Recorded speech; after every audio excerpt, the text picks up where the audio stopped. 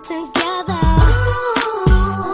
I can't let this opportunity pass me by.